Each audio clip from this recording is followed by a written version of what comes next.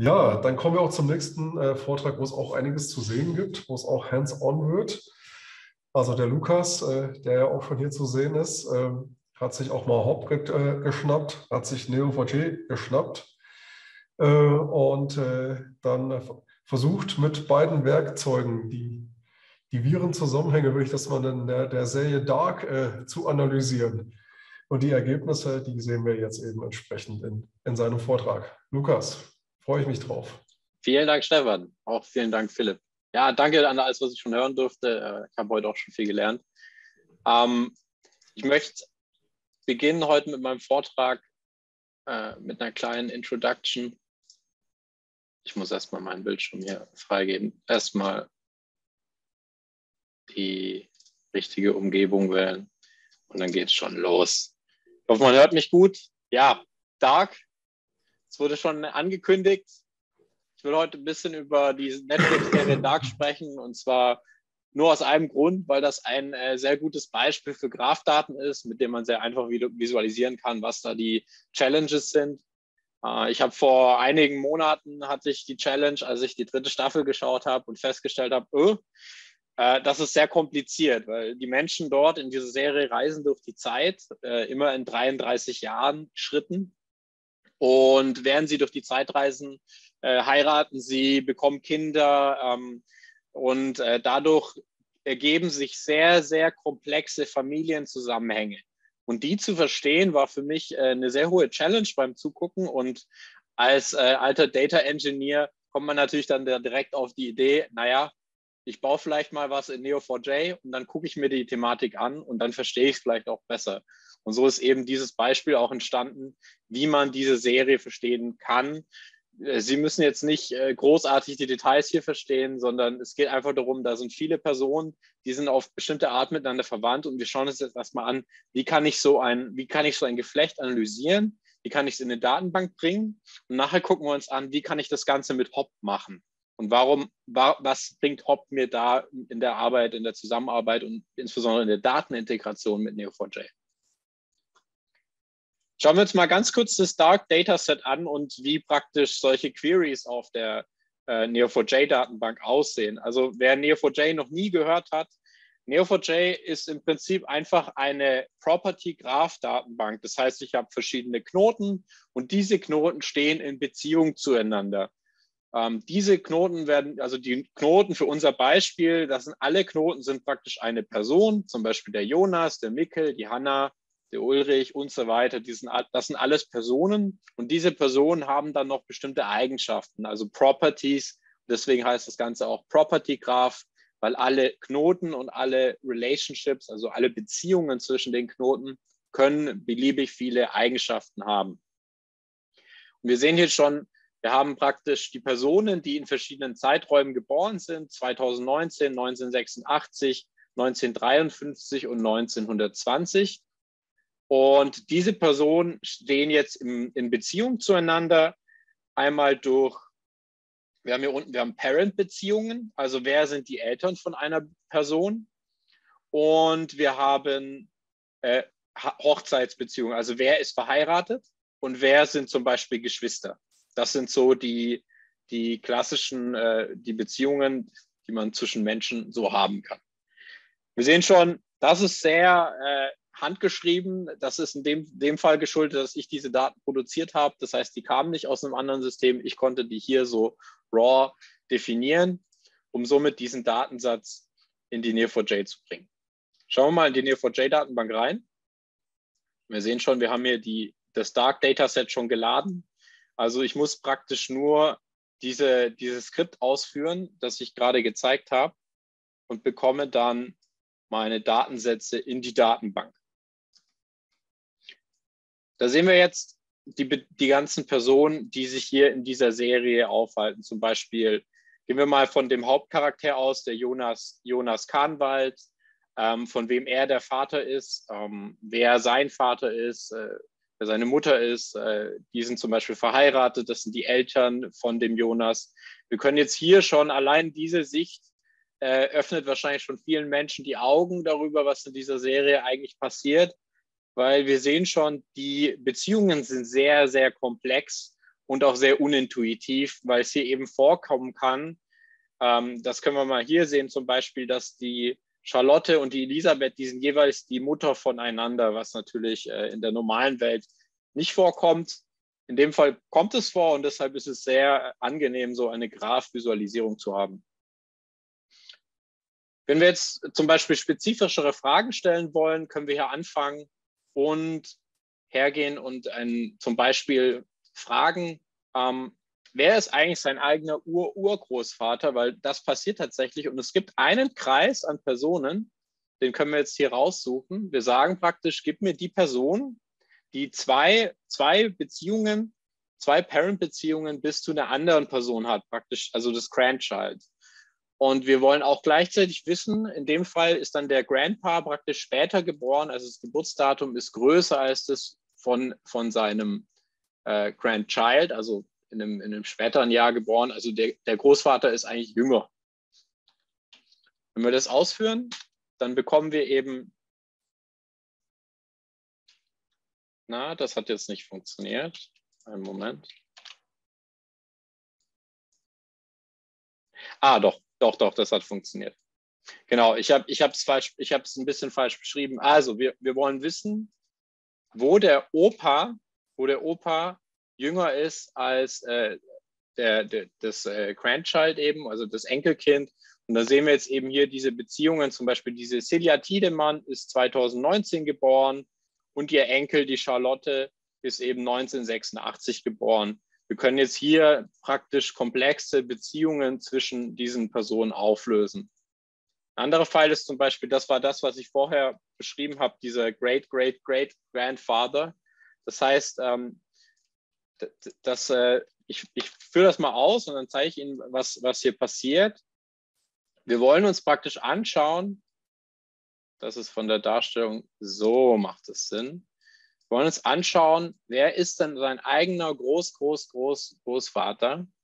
Und äh, hier sehen wir schon, hier können wir nämlich nicht, wir können beliebige Ketten von, von Beziehungen analysieren zwischen verschiedenen Knoten. Hier könnten noch einige Bedingungen noch drinstehen, die zeige ich nachher nochmal bei einem anderen Beispiel. Ähm, aber wir, wir können hier sowas aufschlüsseln, dass es hier tatsächlich einen Kreis gibt von Menschen, die alle jeweils der Vater sind voneinander was man so nativ jetzt nicht unbedingt sehen würde. Das so viel erstmal zu Dark. Wer, wer sich für den Datensatz interessiert, kann mich gerne anschreiben oder nachher bei uns nachfragen. Der ist äh, nicht geheim. Das kann sich natürlich jeder theoretisch auch selber ableiten. Dann kommen wir jetzt mal zum, zu, dem, zu der großen Frage, warum erzähle ich das überhaupt im, im, im Hop-User-Meetup? Also eine Problematik bei Neo4j ist eben die, wir sehen es ja hier schon in dem Beispiel, es ist sehr aufwendig, es ist sehr aufwendig, solche Nodes zu definieren. Also wenn ich das von Hand mache, ähm, dann, äh, dann sieht das Ganze so aus. Das ist sehr, sehr schwer äh, zu unterhalten. Und Hop bietet jetzt eben eine Lösung, wie wir Datenintegration machen können von relationalen Modellen auf Graphmodelle. Das ist eben, das eben ganz neues Feature, das, äh, das es so auch in der Form noch nicht gibt. Und ich habe hier mal eine kleine Transformation vorbereitet, damit das ein bisschen mehr, äh, bisschen mehr challenging ist und auch um zu zeigen, dass Hop noch ein bisschen mehr kann, als jetzt nur 25 Personen zu analysieren, äh, habe ich hier einen Datensatz genommen, der sich um Filme dreht. Wir haben hier den, äh, den Datensatz Movie Data und wir sehen hier die Felder, das ist, ein, das ist eine CSV-Datei, kann natürlich auch eine Datenbank sein oder eine beliebige andere Datenquelle. Und was wir jetzt hier zum Beispiel, was wir für Metadaten zu diesem Film haben, also die Felder, die wir dort darüber haben, das sind die, ähm, ob dieser Film, was er für einen Titel hat, was er für eine Sprache hat, äh, was für eine, der hat auch eine ID, dieser Film. Und was nachher eben noch wichtig wird, welche Firmen haben denn diesen Film produziert? Weil wir werden nachher die Daten von den Filmen mit den Daten der Produktionsfirmen joinen, um dann Beziehungen herzustellen und die in die Neo4j laden. Wir können mal eine kurze Preview machen von dem Datensatz. Das ist jetzt ein bisschen erschlagend wahrscheinlich, Ähm, aber wir sehen hier eben gerade diese Sachen, die ich genannt habe. Wir haben den Titel Toy Story, Jumanji und so weiter. Wir haben die Sprache und wir haben eben diese, diese einzigartige Film-ID.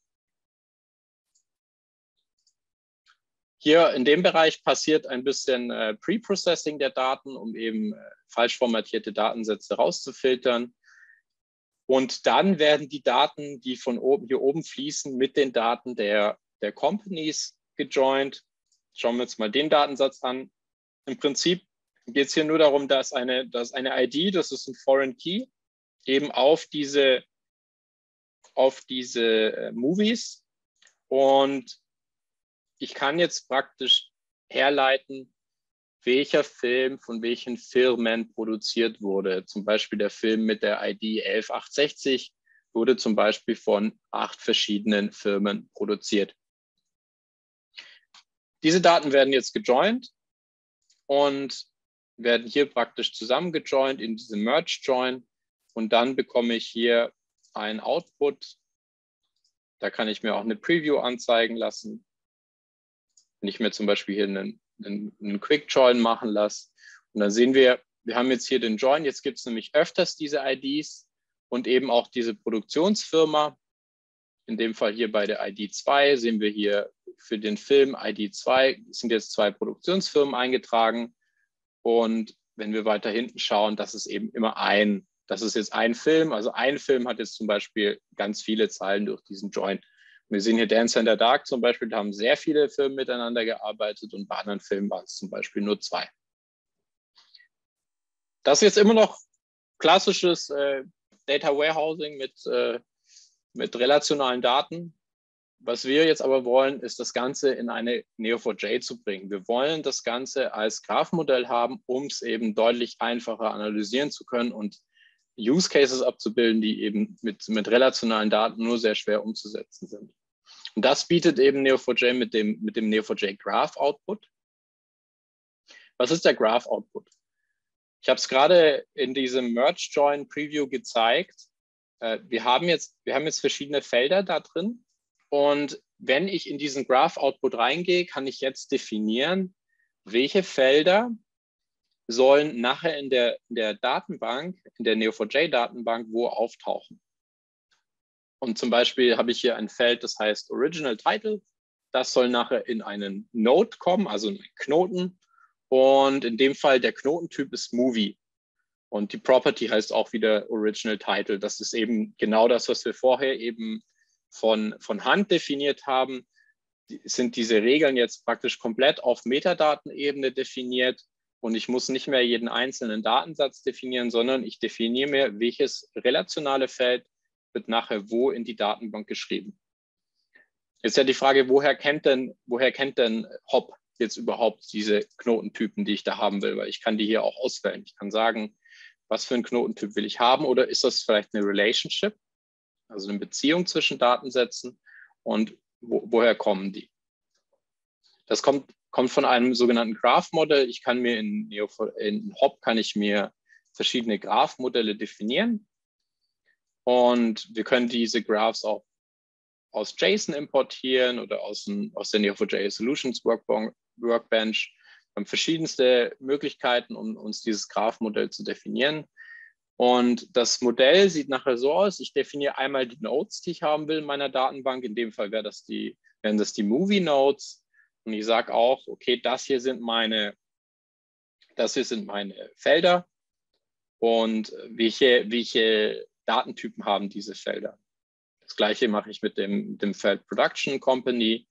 Da haben wir auch wieder ein, ein Node, der daraus entsteht, der in dem Fall eben nur den Namen enthält. Neben den Nodes habe ich auch meine Relationships und damit Hop weiß, wie die Relationships zu setzen sind, sage ich dem äh, Modell praktisch, von, welcher, von welchem Quellknoten kommt denn das und zu welchem Zielknoten geht, geht denn diese Beziehung. In dem Fall wäre das eben von den definierten Knoten Production Company und Movie. Und das Label des, dieser Beziehung ist eben produced und wir haben zum Beispiel in dem Fall, wann wurde das released und eben die ID des Films, um die es geht. Das Ganze kann ich mir dann auch als Graph anzeigen. In dem Fall ist das ein bisschen klein. Ich habe alles sehr groß gemacht. Aber man sieht schon, er hat jetzt aus diesen Metadaten, die ich ihm gegeben habe, hier auch schon ein Modell gebaut. Das kann natürlich beliebig komplex sein und ist in dem Fall sehr einfach gehalten. Wir werden nachher die ganzen Filme haben als Knoten. Wir werden alle Produce-Beziehungen sehen und wir werden auch alle Produktionsfirmen sehen mit jeweils einem Knoten.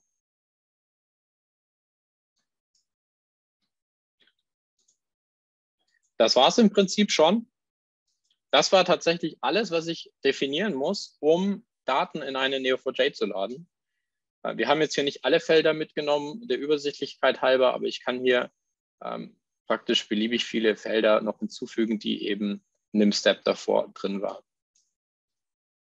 Jetzt können wir das ausführen, ganz, ganz normal. Und wir sehen schon, jetzt geht es hier unten los. In dem Fall, ich habe mit der, der Graph-Output wird hier mit drei Cores beschrieben. Ich kann in Haupt ganz einfach sagen, wie viele, wie viele Kopien ich von einem Schritt laufen lasse. So kann ich eben dann skalieren, je nachdem, wie groß meine Maschine ist.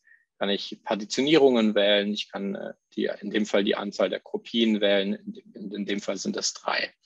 Die sehen wir auch hier unten. Wir haben dreimal diesen Neo4j Graph Output. Die haben sich jetzt eben die Aufgaben aufgeteilt und haben zusammen die Daten in die Neo4j geladen.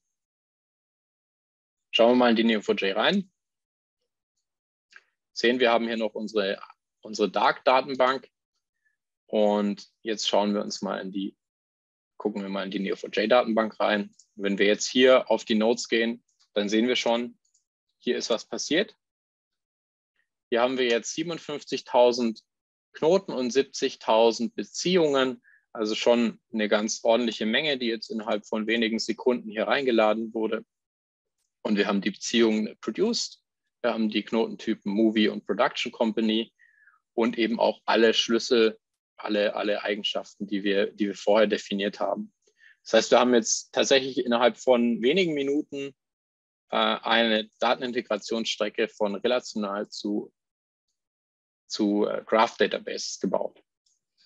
Und hier können wir natürlich mit rumspielen. Also ich kann jetzt hier auf einzelne Knoten klicken und die erweitern und mir verschiedene Details anschauen. Das sind so, so die, die klassischen Features, die ich eben habe.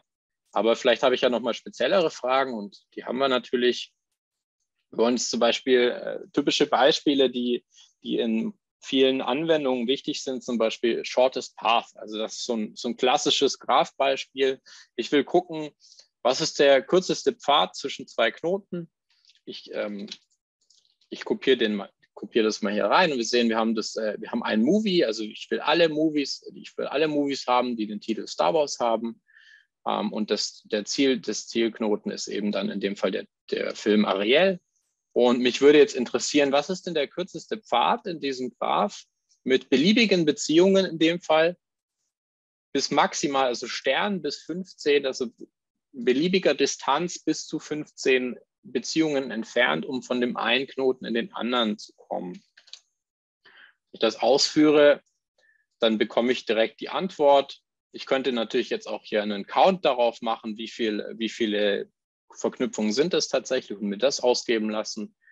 Ich habe, äh, ich sehe jetzt, okay, also für mich war es interessant. Also Ariel ist tatsächlich sehr weit weg von, äh, von Star Wars dass praktisch die Produktionsfirmen, die an diesen verschiedenen Filmen gearbeitet haben, haben nicht wirklich viel zusammengearbeitet, sondern sind in verschiedenen Bubbles unterwegs. Und hier kann ich wirklich solche Cluster erfassen. Das werden wir nachher nochmal im Detail sehen.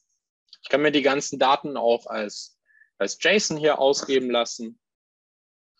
Da habe ich dann die Möglichkeit, eben alle Daten, die gerade so visualisiert wurde, auch der Form zu sehen. Oder ich kann mir das Ganze als Text geben lassen. Das ist für dieses Beispiel jetzt nicht besonders repräsentativ, aber ich habe alle Möglichkeiten. Schauen wir uns doch an, wir können auch noch filtern nach zum Beispiel nach verschiedenen Strings auf unseren Datensätzen. Wir haben jetzt hier die, äh, so einen Film und der wurde eben von, von der Firma produziert und mich interessiert natürlich der, ein cooler Film, Kill Bill. Und Jetzt kann ich mir das anzeigen lassen und dann sehe ich gleich, ich sehe die Filme, die Kill Bill enthalten und ich sehe auch die Firmen, die Kill Bill produziert haben. Und zwar beide Teile. Und dann fällt mir auf, ja, okay, die Miramax und die Band Apart, das würde mich jetzt interessieren, ob die auch öfter zusammenarbeiten. Und solche Fragen kann ich eben auch stellen. Also welche, das, äh, vielleicht ist es auch im Einzelhandel oder in anderen Bereichen äh, interessant, was, was ist praktisch, welche, welche Gruppen haben das Gleiche gemacht oder haben die gleiche Beziehung zu einem Produkt, wer hat das aufgekauft und so weiter. Und in dem Fall gucken wir uns an, wie, ähm, wie arbeiten die denn sonst noch zusammen, die zwei Produktionsfirmen. Das heißt, ich habe hier wieder eine Produktionsfirma, die einen Film produziert hat und eine zweite Produktionsfirma, die den gleichen Film produziert hat. Das sind eben diese das ist diese erste Zeile, die zwei Produktionsfirmen, die den gleichen Film produziert haben. Und die erste hat eben den Namen Miramax Films und die zweite hat den Namen A Band Apart. Und das kann ich mir ausgeben lassen. Und wir sehen, äh, die Quentin Tarantino-Filme, die wurden äh, zu einem guten Teil von diesen beiden Firmen gemeinsam produziert. Allerdings sind es nur die vier, die von beiden gemeinsam produziert werden. Miramax Films ist ein großes Unternehmen und äh, ist ja auch die Frage, mit wem arbeiten die sonst noch zusammen und wie sehen denn erfolgreiche Filme dieser Firma aus zum Beispiel? Das kann man sich ja auch äh, angucken. Ich will, ich habe wieder zwei Firmen, die einen Film produziert haben und ich schaue mir an, ähm, der, die eine Firma ist wieder Miramax Films und mir ist jetzt erstmal die zweite Firma egal. Das heißt, ich kriege alle Partner, mit denen zusammengearbeitet wurde. Aber was mir jetzt wichtig ist, ich will sehen, dass die einen IMDb-Score, also eine Bewertung von größer 7 haben. Mich interessieren nur die guten Filme. Und dann schauen wir mal, mit wem Miramax gute Filme produziert hat. Wir haben einige gute Filme produziert. Und wenn wir das hier groß machen, dann, dann sehen wir das auch nochmal deutlich besser sehen hier wieder Miramax im Zentrum und eben die Filme, die, die produziert würden, die eine Bewertung, das sehen wir hier auch in den, in den Daten, Vote Average ist eben Größe 7, das trifft bei allen zu. Und hier sehen wir auch die Partnerfirmen, mit denen zusammengearbeitet wurde. Und was ich hier besonders interessant finde, dass Miramax keinen Partner hat, mit dem es wirklich viel produziert. Also die allermeisten Filme, die hier, die hier sonst angezeigt werden, die haben nur einmal mit denen zusammengearbeitet. Und diese Firma A Band Apart, die mit ihnen drei verschiedene Filme produziert hat, drei verschiedene gute Filme produziert hat, das ist schon, das ist schon die mit den meisten Beziehungen. Das heißt, ich kann hier, kann hier genau analysieren, okay, welche, welche Beziehungen bestehen da zwischen den Firmen? Gibt es zum Beispiel Firmen, die sehr eng zusammenarbeiten? Das kann für verschiedene Geschäftsinteressen natürlich sehr sinnvoll sein, solche Fragen beantworten zu können. Und wir sehen, die meisten Firmen, die haben einmal ein Stück vom Kuchen bekommen und dann wohl nie wieder. So einfach konnten wir jetzt diese Daten analysieren. Ich kann mir gut vorstellen, dass diese Fragen, die ich gerade beantwortet habe, mit zwei CSV-Files etwas schwieriger zu beantworten wären. Und das, deshalb ist eben Apache Hop da sehr hilfreich, weil so eine Transformation kann man in fünf Minuten bauen. Wenn die komplexer sind, klar, dann dauert es deutlich länger, aber dann kann ich eben das auch lösen und visualisieren. Dann gebe ich erstmal zurück an Stefan und gibt es noch Fragen zu diesem Thema? Ja, Lukas, erstmal äh, vielen Dank. Ähm, genau, also auch hier noch der Appell, äh, den der Lukas auch gerade gestartet hatte. Wenn Sie Fragen haben, dann gerne. Dem Herrn Buraschewski hat das Beispiel anscheinend schon mal sehr gut gefallen. Äh, ich, ich hoffe mal, du hast nicht zu sehr gespoilert. Ich kenne die Serie nicht. Also das ist eh zu komplex, da vergisst man die Hälfte wieder, wenn man es einmal gesehen hat. Ja. Ja, genau. Ich kenne nur zurück in die Zukunft, dass das ein bisschen, äh, das ist ein bisschen eindimensionaler, das Problem. Ähm, ich habe auf jeden Fall noch eine Frage, ähm, die sich mir noch aufgedrängt hat, äh, und zwar äh, bei dem Aufbau äh, dieses Modells oder dem Befüllen der Datenbank wird dann da auch äh, automatisch ein Index aufgebaut für, für mhm, Performance? Mhm. Das ist eine gute Frage. Das ist ja, also ich habe auch schon in, ich habe auch schon in größeren Neo4j-Projekten gearbeitet und da war das auch immer so ein Thema. Äh, wo baue ich jetzt meinen Index hin? Wer aktualisiert die Indizes und so weiter? Und mit Hop kann ich das sehr einfach setzen. Ich habe einmal hier den, das Häkchen Create Indices, also will ich einen Index haben in, ähm, in, den, in den Daten. Und was ich auch noch habe in dem Modell, das ich gerade gezeigt habe, wir haben hier, wir haben hier nicht nur die Eigenschaften, äh, den Feldname und äh, Felddatentyp, sondern wir können hier sagen, das ist ein Primary Key, das ist unique und das ist indiziert. Und so kann ich eben äh, forcieren, dass diese Daten auch nur in der Form in der Datenbank landen. Das heißt, ich weiß nachher, wenn ich die Transformation ausgeführt habe, dieses Feld hier ist indiziert, das ist in jedem Knoten enthalten und das ist ein einzigartiger Primary Key auf diesen Knoten. Wenn wir uns das im, im Browser angucken, das ist der Neo4j Browser, den ich vorher auch gezeigt habe. Wir machen das Ganze mal ein bisschen kleiner, wenn ich ja auf das Schema gehe. Du musst deinen Bildschirm noch teilen. Also, oh. Ja, genau.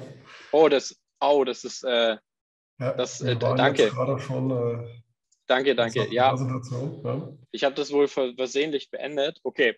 Ja. Dann, ich zeige es nochmal ganz kurz. Ich, ich zeige es nochmal ganz kurz. Ist ja kein Problem. Genau. Also Indizes, genau das gleiche, was ich gerade erzählt habe. Jetzt sieht man es hoffentlich.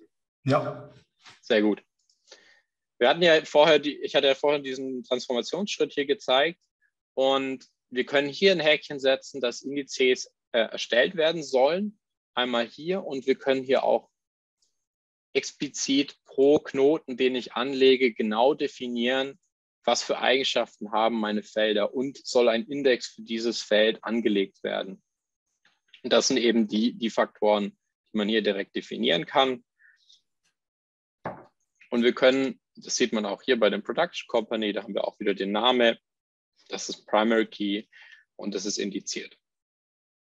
Und um das kurz in der Datenbank zu zeigen, wenn ich hier, ah ja, ich habe es gerade schon ausgeführt, wenn ich hier das, äh, den, das, mir das Schema angucke von meiner Datenbank, dann sehe ich genau das, was ich gerade in, in HOP definiert habe. Wir haben nämlich hier diese Constraints und zwar haben wir auf dem, auf dem Knoten Movie haben wir einen Binary Tree Index, der eben unique ist und uns eben über die Property ID direkt rausfinden lässt, wo welcher Knoten ist, um dort die Daten zu finden.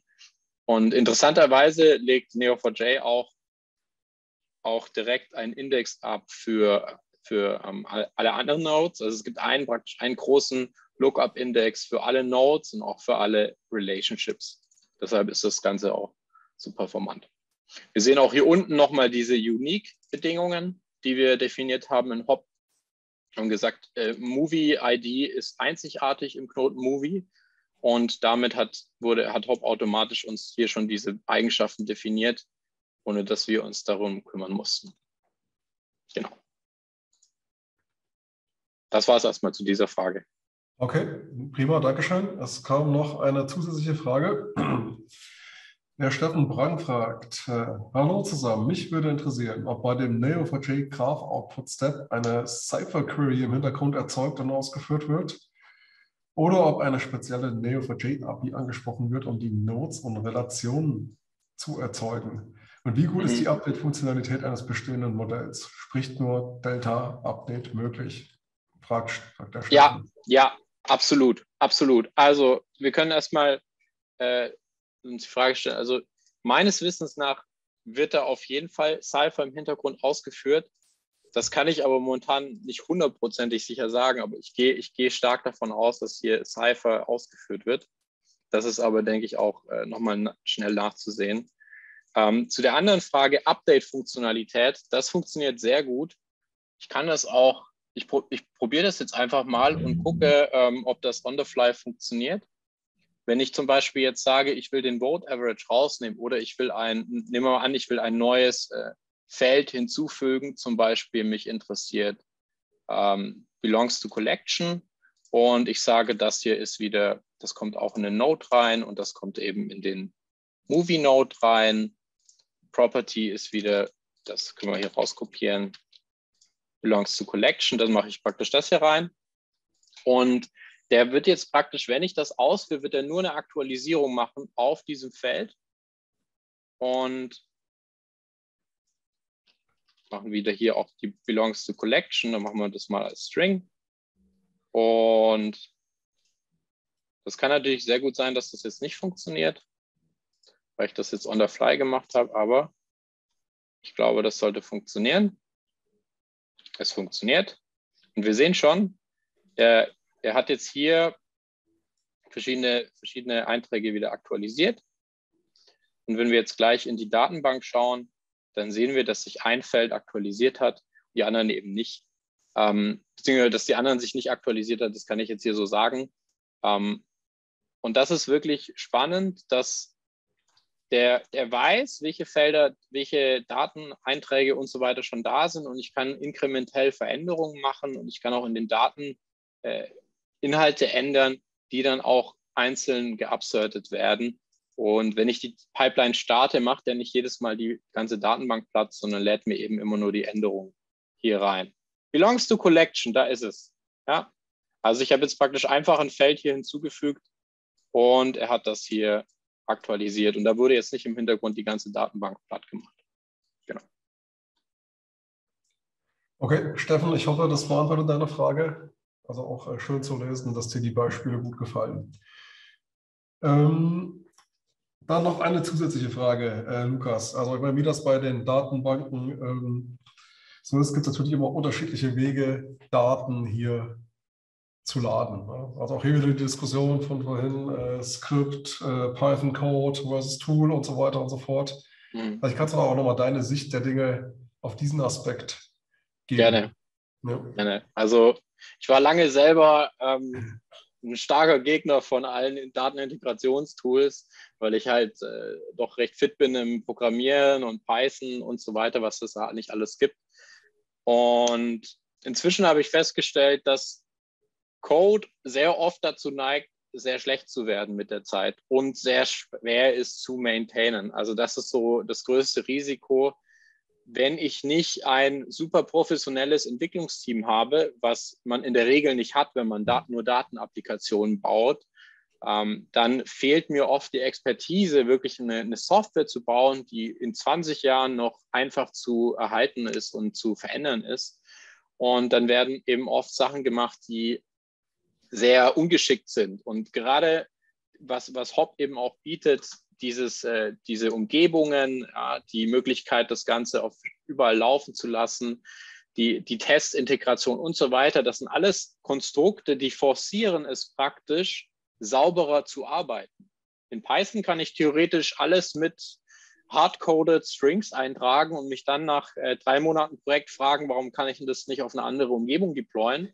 In, äh, in Hop kann ich das Ganze sehr nativ machen und es forciert mich, es zwingt mich in einer Weise dazu, mich besser zu verhalten und Best Practices anzuwenden. Und das ist schon sehr, sehr wertvoll. Weil äh, diese Diskussionen dann immer zu führen, was jetzt wie gut ist, äh, ist sehr schwierig. Das ist so ein, ein großer Take dafür. Es gibt andere Möglichkeiten, auch Datenintegration in Neo4j zu machen. Wer es äh, sich zutraut und wer denkt, das ist die bessere Möglichkeit, kann das natürlich auch in verschiedenen Programmiersprachen machen, zum Beispiel in Python. Äh, es gibt auch noch äh, andere Tools, aber kein Tool, das mir jetzt direkt einfällt, das wirklich leichter oder, oder weniger einfach zu benutzen ist und auch noch Open Source äh, wie, wie Apache Hop. Deshalb haben wir es heute hier vorgestellt. Das war es dazu von mir. Okay. Dann nochmal vielen Dank, Lukas. Ich sehe keine weiteren Fragen. Also ich denke mal, äh, Key Takeaway wenn Sie sich für die Beziehungen in Ihren Daten interessieren, sind Hop und Neo4j eine sehr, sehr gute Kombination, die auch jetzt weit über klassische Business Intelligence äh, hinausgeht. Wenn Sie äh, Dark verstehen wollen oder mal wissen wollen, was hat Bridget äh, Jones mit Star Wars zu tun, dann sprechen Sie bitte den Lukas an. Äh, der wird Ihnen das dann äh, ja, mit ein paar wenigen Klicks dann auch äh, beantworten können. Ja, damit sind wir dann auch äh, am Ende des heutigen Hop-User-Meetups. Ähm, was uns auch sehr wichtig ist, bei jeder Veranstaltung und auch natürlich bei dieser ist Ihr Feedback.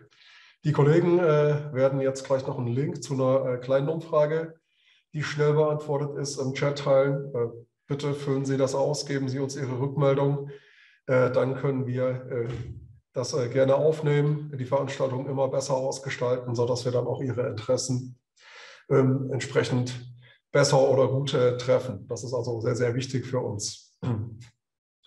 Matt Casters hatte auch eingangs erwähnt, äh, dass wir Ihnen natürlich auch gerne helfen, wenn Sie jetzt Interesse an Hop oder auch an Neo4j haben. Also äh, wir bieten da diverse äh, Beratungsleistungen an, ähm, um Ihnen äh, in Ihren Projekten oder bei Ihren Anforderungen zu helfen. Äh, Konzeption, Implementierung, Support bis hin zu Trainings. Also wenn Sie da Bedarfe haben, äh, nutzen Sie auch hier gerne die Möglichkeit, uns im Nachgang zu kontaktieren. Äh, wir klären dann gerne, wie Ihre Anforderungen umgesetzt werden können oder wie gegebenenfalls auch Know-how auf Ihrer Seite in den gezeigten Themen aufgebaut werden kann. Und äh, zu guter Letzt ähm, dann auch nochmal der Hinweis, den ich auch schon zu Beginn äh, der Veranstaltung gebracht hatte. Also die Aufzeichnung und die Präsentation ähm, teilen wir natürlich dann auch sehr gerne in den nächsten Tagen mit Ihnen. Ja, dann bleibt mir nur am Ende zu sagen, vielen Dank für Ihre Zeit, vielen Dank für Ihre Aufmerksamkeit, für Ihre Teilnahme, vielen Dank an alle Referenten für die spannenden Vorträge und äh, wir freuen uns, äh, ja, Sie dann auch beim nächsten User, User Meetup für Hop äh, begrüßen zu dürfen, äh, zu dürfen. Schönen Tag noch und bis zum nächsten Mal. Machen Sie es gut.